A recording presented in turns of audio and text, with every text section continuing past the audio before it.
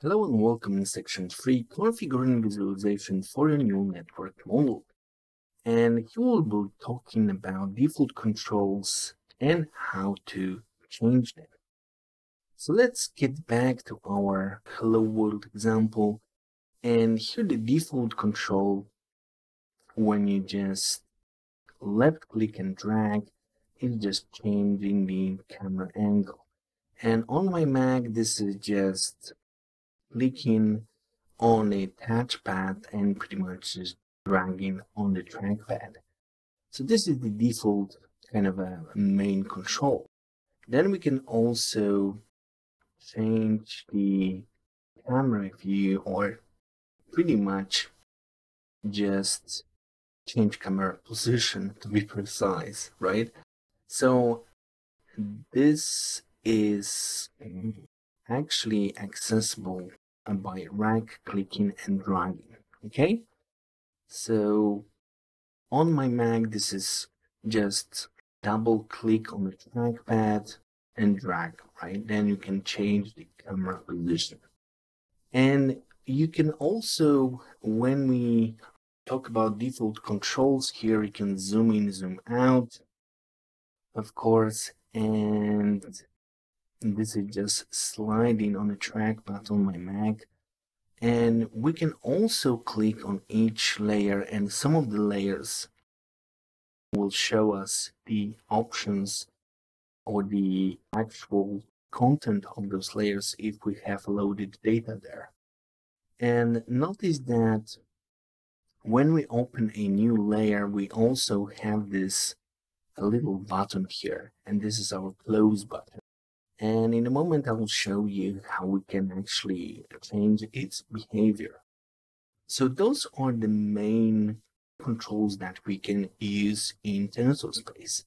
There's not much, but in most cases, you know, for very basic visualizations, they work pretty well. So let's look at what we can actually tweak or customize. So the first thing that we can customize is the close button, right? And by default, when we expand the, the layer, we can see that close button.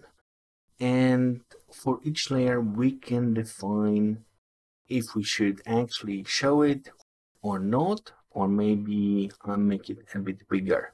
So we need to provide the close button dictionary or object to specify those properties of close button. So we can tweak that we can also make sure that we don't have this button. You know you can pretty much just tweak it really well.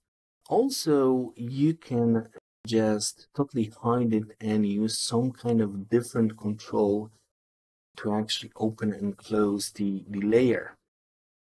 Uh, how you do that it's up to you but you can use uh, the close method on the layer uh, to actually close or you know expand uh, the layer. So there's option here as well. The other important control that you can use is paging. And we haven't seen the paging example, but in documentation we can see that when you have a really huge vector, this might be, you know, the visualization can actually be ridiculous because you will have this really long vector. And you can configure this paging that will allow you to show this vector in a more manageable way. So here you specify different kind of parameters of the paging and with this it's much more readable, much more accessible.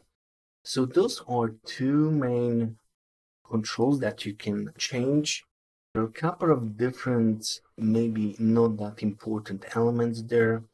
And yeah, those are the two main ones.